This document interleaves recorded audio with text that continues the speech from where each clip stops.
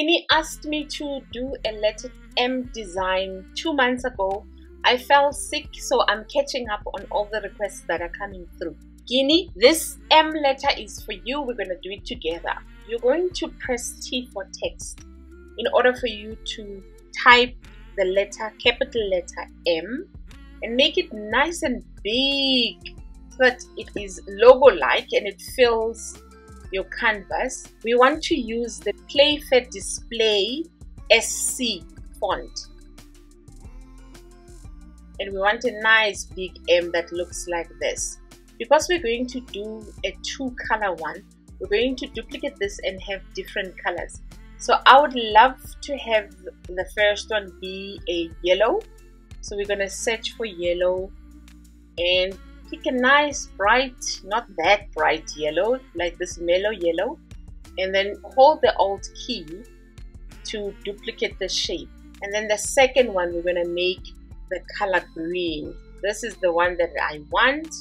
And when you're happy that they are exactly the same size, you're going to download these so that you convert them to uh, a PNG so that you're able to crop them. We can't crop text, that's why we're going to download this as a transparent background and we download it as a PNG.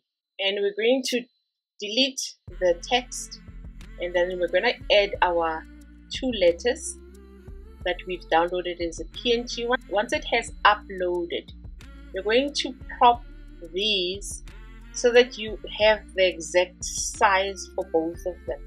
So it depends on how big you want your M to be. We're going to make it nice and big.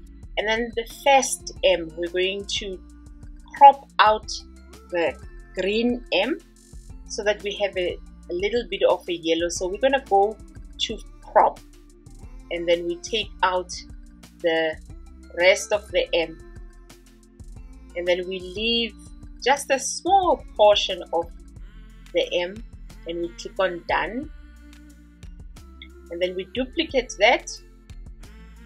And then we crop the second portion so that we have the bigger M like that. And we click on done. Then we start aligning the two to each other.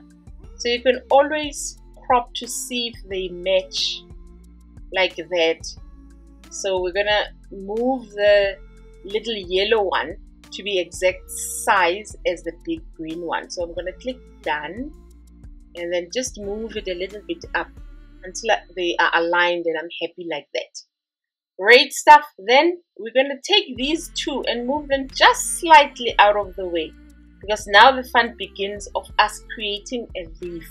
We're going to press L for line and we are going to change the color of the line and make it a green color so we're to continue with this photo color of ours that we're busy using and then we're to increase the weight of the leaf to be a size 10 and then we want the corners to be rounded points. And then we want we want to use we're to select your line.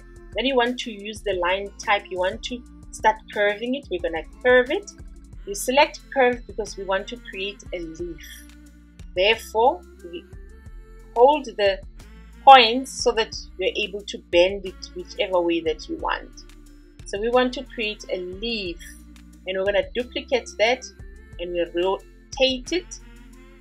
And then we can make them combine them so that they are pointed together like that. Great stuff. We are happy we can always group them and resize them just a little bit so that we can align them to our M bring the M to be the middle of the page and then we start our design we bring the leaf and we combine it with our M so that it looks something like that. Just gonna tidy this a little bit up, just a tiny bit. And you know, if you want to control lines or shapes, you can always zoom in. It gives you much better control of the design. Then we're going to use our line to create the stem of our leaf. We're going to change the color and make that a yellow. And we move the shape just a little bit and we bend it. And then we move it inside our leaf so that it is aligned to the M. So we zoom in combine the two like that then we duplicate this stem shape and we reduce the size to make it a smaller size like a 8 or 7 and then you create the leaf the insides of the leaf by bending it this way. And you rotate it.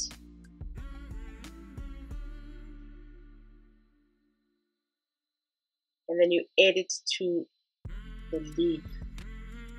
You make your adjustments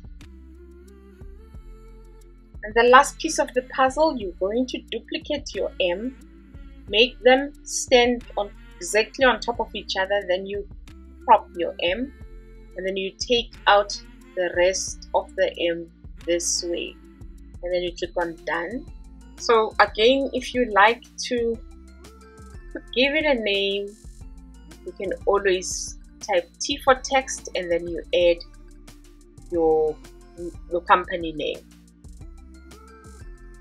And once you're done, you're gonna download as a transparent background.